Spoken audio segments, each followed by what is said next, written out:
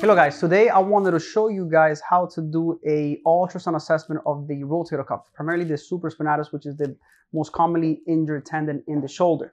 So I'm, to jump right to it.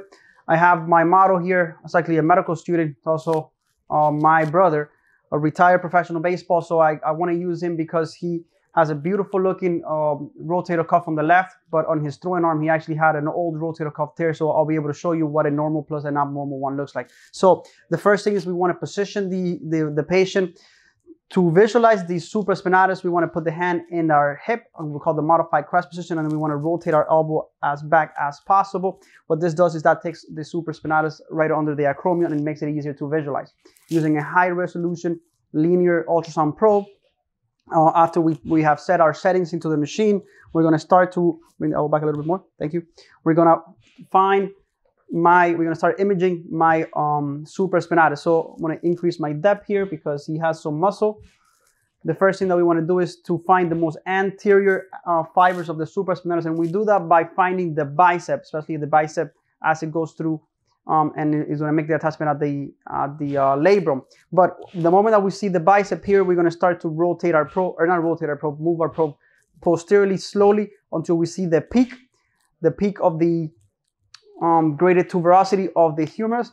And at this point, we are seeing the anterior fibers of the supraspinatus. And we could see a nice fibrillar structure there. I'm actually going to try to make that image a little bit bigger. Um, there it is.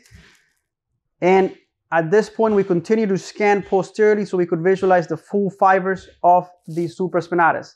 There it is. As I'm going now back more anteriorly, we could actually also see the, the uh, bursa. Always want to make sure we correct for anisotropy on these tendons because it does tend to happen. Um, so we don't want to overcall a pathological area. Again, I'm going to come back to uh, the most anterior fibers. There they are, and that's a beautiful looking supraspinatus. The other thing that we always want to do when we're evaluating tendinopathy or tendons in general, we want to rotate our probe and we want to make sure that we everything we see, we look at it in orthogonal view. And at this point, we are going to find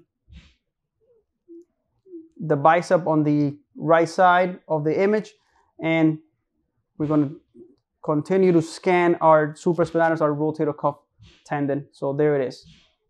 Now, because I, will have him and I know he had an old rotator cuff pathology, I want to compare it so you guys could see what an abnormal one looks like. So I'm going to take a picture of this.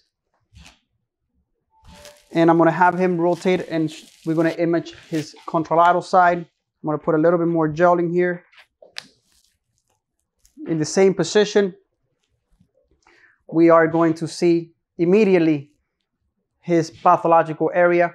Again, if we, if we move anteriorly, we could scan the full width of that super, uh, the supraspinatus and there it is. We start to see cortical changes consistent with an old rotator cuff tear. Thank you so much. Hope you guys enjoyed the video um, and you found this uh, informative.